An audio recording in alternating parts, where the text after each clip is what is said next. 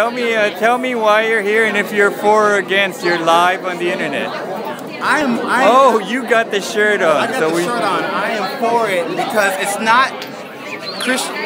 My fellow Christians are tripping.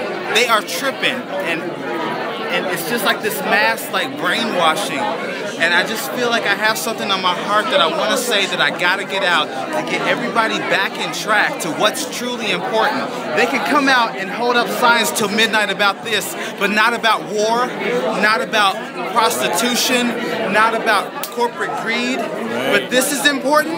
You can hold signs to midnight about this. There's not a verse in the Bible that Jesus says anything about same-sex anything, but he does talk about minding your own business. He sure did. He sure did. Thank you.